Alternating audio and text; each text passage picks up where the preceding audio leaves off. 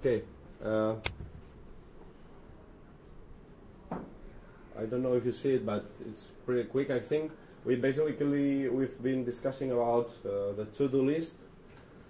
Uh, there are some items that are already done. Some others are in progress. We already mentioned them yesterday in BABI, uh, which is bas- basically making it more robust, and it's on the way and should be more or less finished by next week by the man of the RST of tomorrow.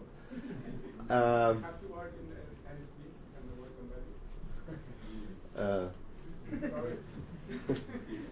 do you come to the dinner? uh, then there's um, several things to do. Uh, the ones we've talked more about are uh, key indicators, which are a complement to business intelligence, not to the reporting stuff we saw yesterday. And well, there's been a discussion whether it's possible to integrate that or reuse the report definition interface we have currently to implement uh, or support key indicators. In fact, we didn't come to uh, very clear conclusions. Um, probably somebody has to try it out. Um, there are ideas for adding also colors, so you can configure uh, a dynamic table and say, okay, and if the value goes below a given value, then you um, show it in red or in green, all this stuff. Um, we've talked also about using heavy uh, to generate the aggregation things, the aggregated data. But we would also need probably window functions, which are a way to. Um, there was an example. Um, for Year uh, yes, uh, aggregate data not per year, but until a given date, for example. Okay, so you say all the sales uh, for the first of January, all the sales for the second of January plus the first of January, and uh, the third of January plus the second plus the one. This is currently not possible, and we would need Sugar for PostgreSQL window functions.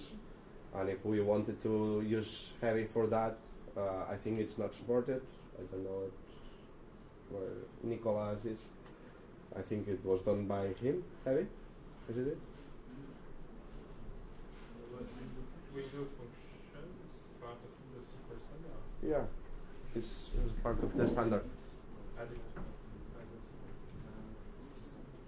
You we need it in Python SQL first, Yes. and then in Okay.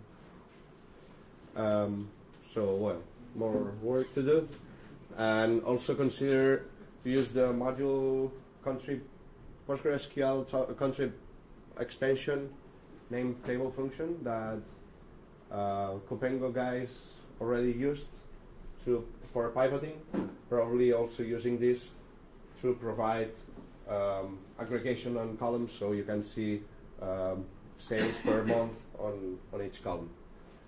Uh, we also talked about triggering notifications and a little bit how those should be probably made generic and try to, make PKAs, uh, key indicators, launch those triggers when a certain value goes below a given threshold, and then send a report or send something else.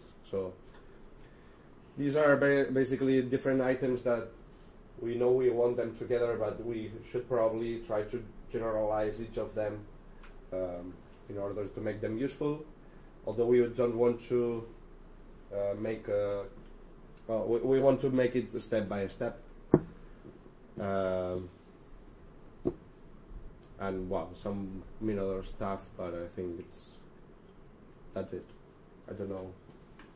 Can I comment? I think it's very big, but it's not in the list, but I think it's interesting. Uh, when you are in a, in a report, uh, sometimes you you have to say uh, to show the, the data that generated this, this record.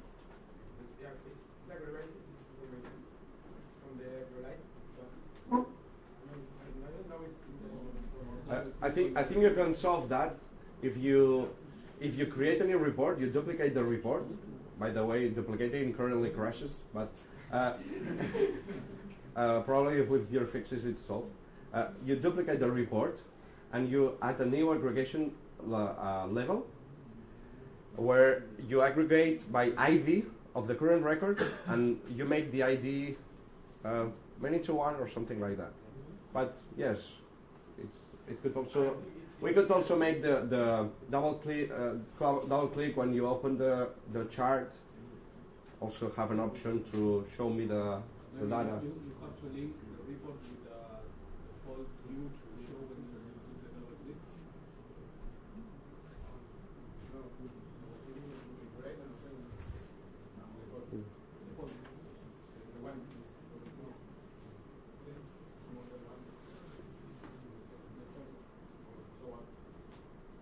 I don't know if there are more ideas. Uh, more than ideas, I think we need uh, hands here.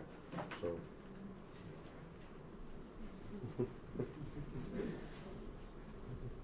but I don't know.